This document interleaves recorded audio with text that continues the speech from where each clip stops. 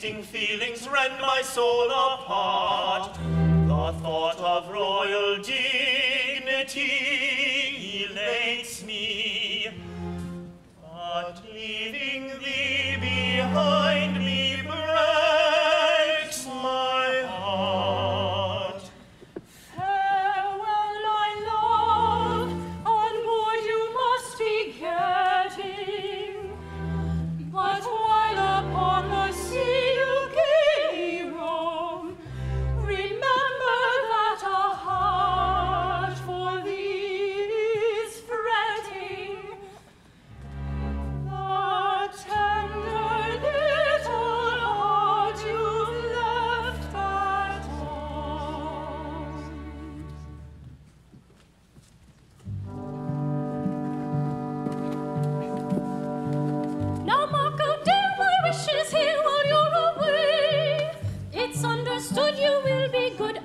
too gay.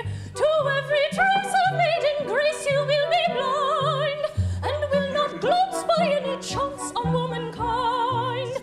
If you are wise, you'll shut your eyes till we arrive, and not address a lady less than forty-five.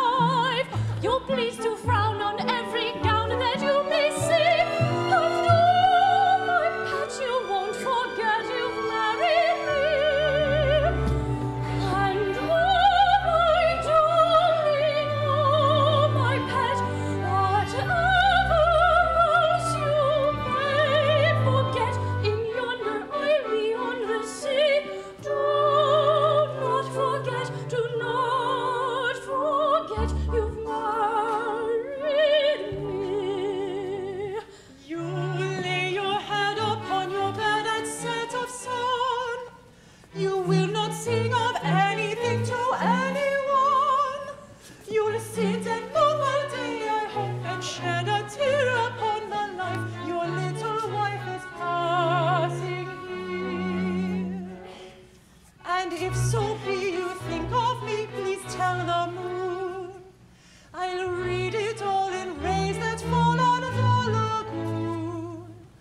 You'll be so kind as